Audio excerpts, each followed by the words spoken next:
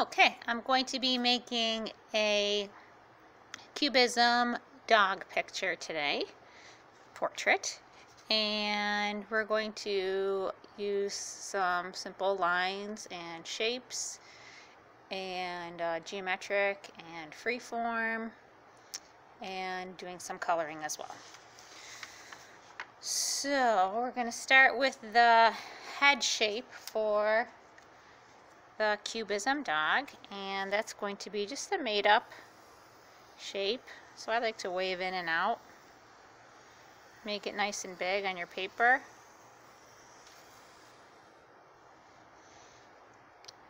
And next I'm going to draw the dog's ears. So I don't want things like in the usual spot and looking the same like I would normally make a dog or dog's ears I want to make things uneven and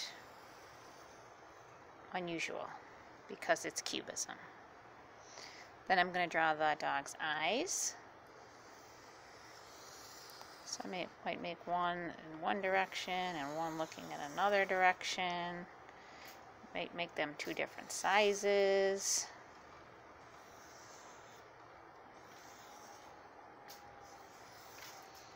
There's ovals and circles. And let's see, how about for the nose? And maybe one part of the mouth is real high and the other one's down low. Give him a few dots. Not pressing hard. Um, I could even give him some eyebrows if I wanted to.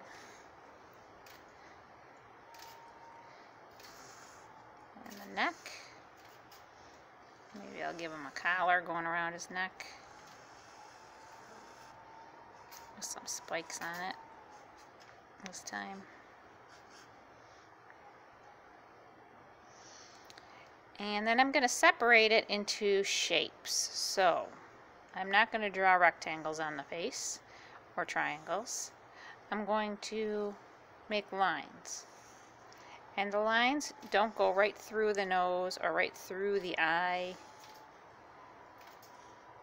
The lines are separating my spaces for coloring in. Maybe I'll give them a little tongue while I'm thinking of it here.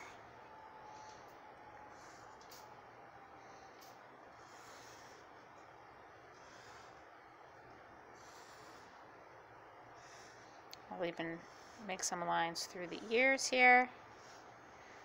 So I have different spaces for coloring in inside the ears. And then also on the neck. Could also have some eyelashes too.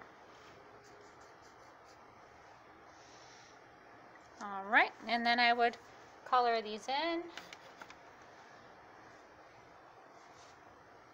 And you're all set.